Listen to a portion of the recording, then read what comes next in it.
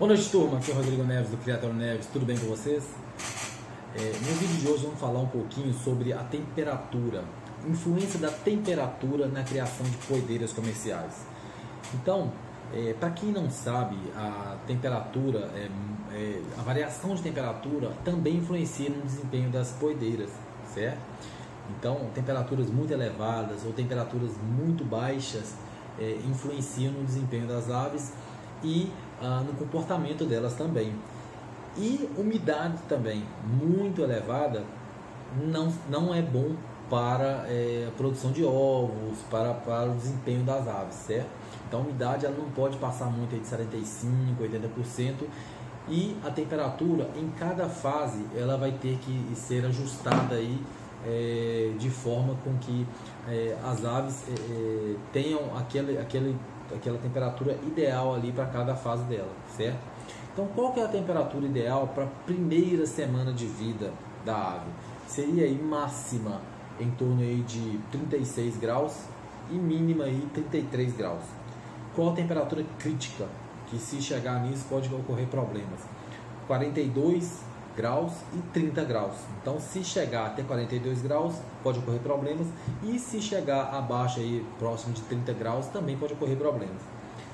E na segunda semana, qual é a temperatura ideal? Seria pelo menos aí 33 graus né, máximo e 30 mínima. Essa variação de 3 graus aí. E a crítica 40 graus e 25. Não seria interessante.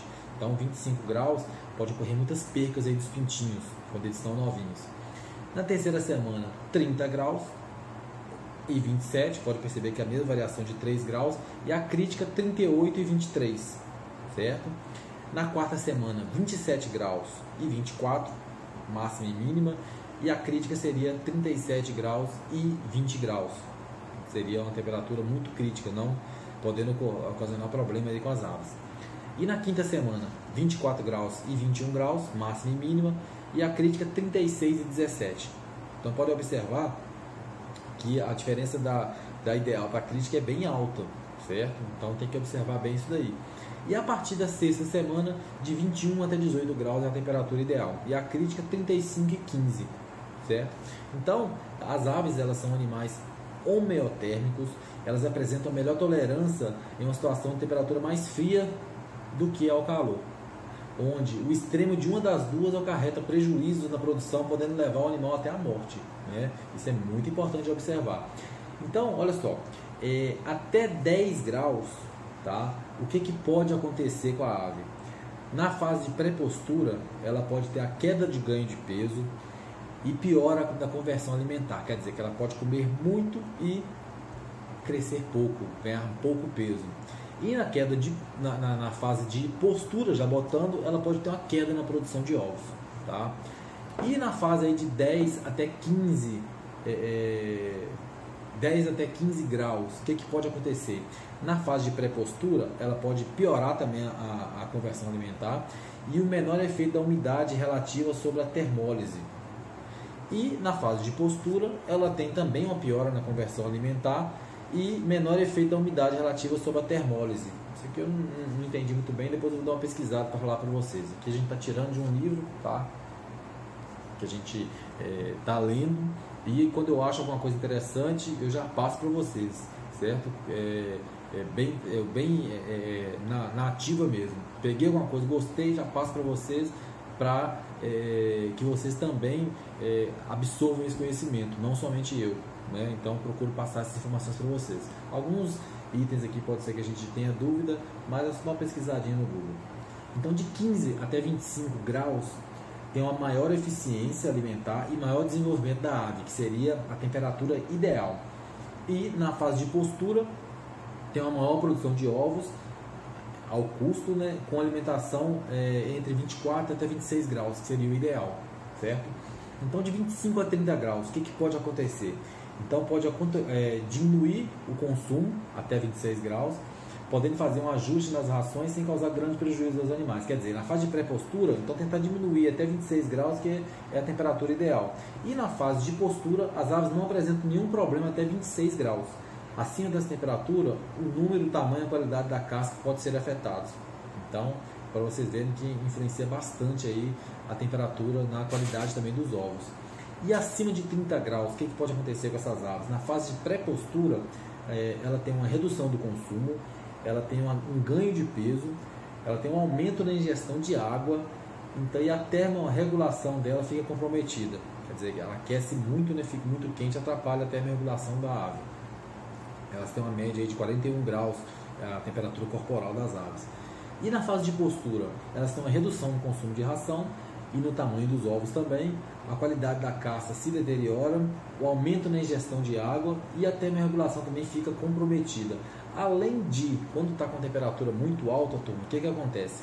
É, o ovo, se ele tiver fértil, estiver galado, ele pode começar o processo de, de é, é não de incubação, mas o processo de é, é, formação do pintinho. E aí ocorre o que? É, às vezes você vai vender um ovo e ele está praticamente começando a formação do pintinho acima aí de 30 graus. Né? Acima de 26 graus já, já pode ocorrer isso, mas acima de 30 já é bem, é, bem fácil acontecer. Então a gente tem que ter um controle de temperaturas em regiões muito quentes. O ideal talvez é refrigerar com ventiladores próprios, etc. Em regiões muito frias existe aí até caldeiras para poder manter uma temperatura é, ideal, dar uma esquentada. Né?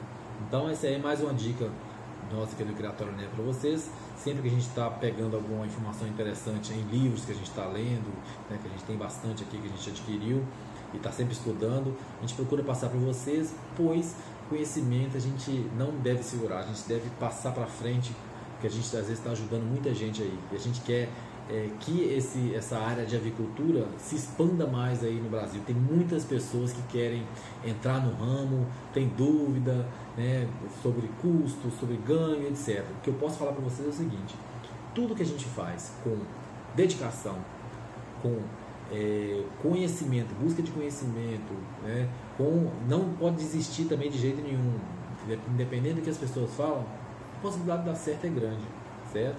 Então, é, já ouvi muita, muitas pessoas me tentar desanimar, falar que não dá certo, etc. Mas eu não dou muita ideia não, porque eu sempre eu sei que eu, tô, que eu quero, eu sei onde que eu posso chegar, né? E a gente às vezes com, com pouco tempo aqui que a gente trabalha com, com aves, né, no setor de avicultura, a gente já está num patamar bacana do jeito que eu queria mesmo estar.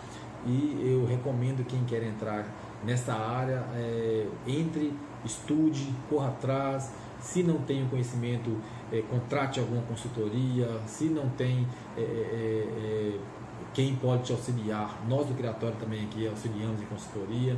Mas é, o que não pode é deixar de, é, de querer entrar por causa de falta de informação, ou por desânimo, ou por achar que não dá dinheiro, enfim. Tudo que a gente fizer com planejamento certinho e tudo mais, a possibilidade de dar certo é grande.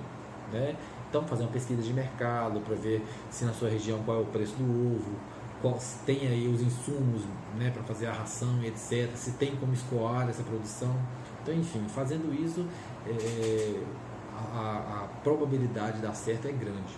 Ok? Então, quem gostou desse, mais desse vídeo aí, compartilha, curta esse vídeo aí, comente aí como é que é, é, a sua criação aqui no, nos comentários, porque é bem importante também a gente fazer essa interação. Procuro responder todo mundo, tá?